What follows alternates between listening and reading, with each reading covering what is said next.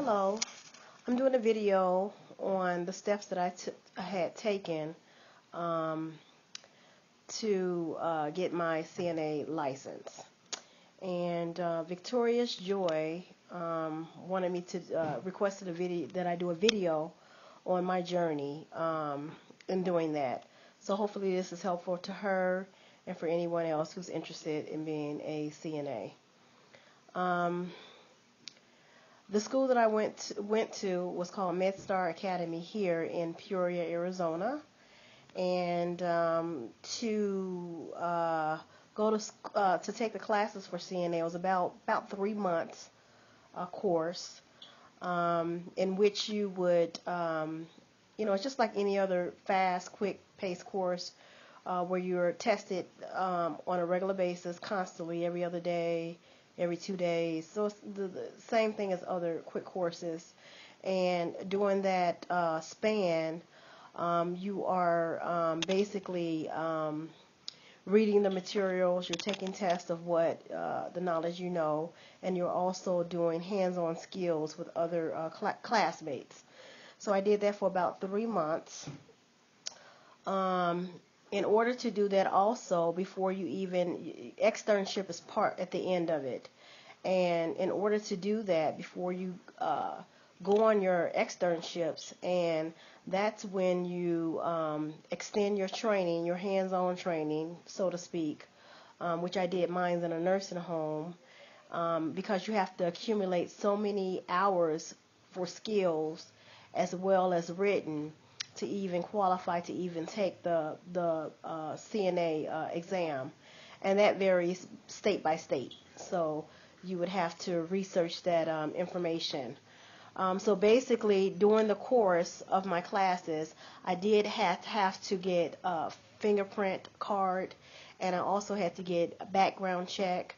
And you also have to be up on all of your shots. That's with any, I guess, medical when you're dealing with patients. Um, pretty much I had to, um, uh, I can't think of the name of the shot that I had to take, but um, basically current on your shots, and they'll probably come to me later. But um, by the end of my course, after taking, uh, passing all the the written tests, and um, being um, working on my skills um, with other classmates, and also being taught by uh, the teacher um, at the end of the class, once you've passed all of that, then you go on your externship. And like I said, I, my externship was at a nursing home.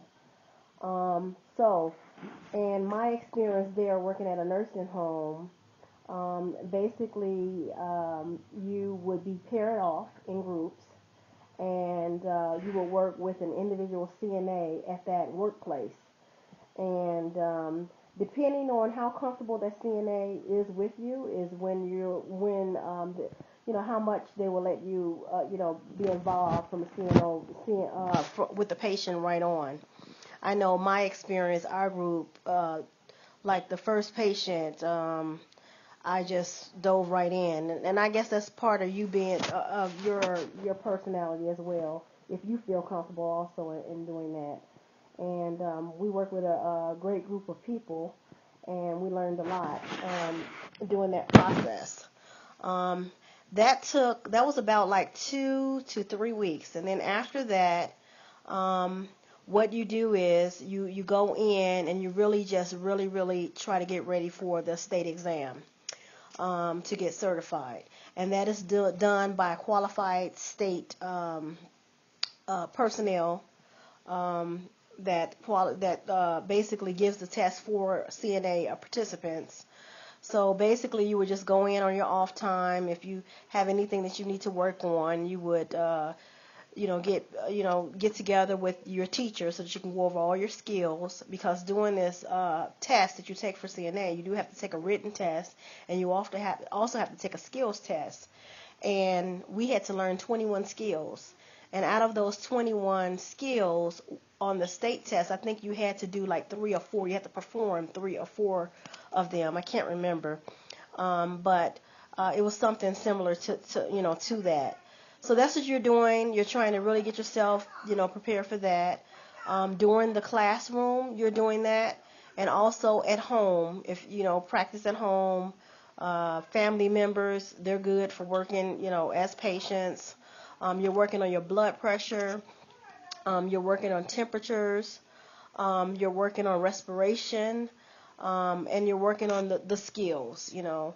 Um, basically, um, like I said, we had to learn 21 of them. And some of them include uh, basically, uh, um, you know, wheelchair patients, um, you know, how to remove them uh, from the bed onto a wheelchair. Um, some of them would include feeding, grooming patients. Uh, that's just some of the few things that you would have to, you know, to learn. And um, so um, when the state tests uh, come along, uh, it would just be you. Well, we were in a group, uh, group, a group in a room, and we took our written tests. And then after that, you will be called one by one, and you would have to perform these skills in front of, in front of a state certified person, who who who is certified to do, you know, to to look and to test you on your CNA skills. And when you do your skills, you are timed.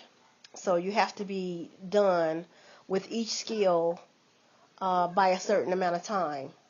Um, you do, if you have time, at the end of each skill, basically, they will ask you, "Are you sure? Are you done?" Or however, which way that they will ask you to let you know that um, basically, if you if you make a mistake, to correct it right then and there. And if you have time to do that, um, I would suggest doing that. But um, if you can go through the skill thoroughly without making a mistake, of course, that's better.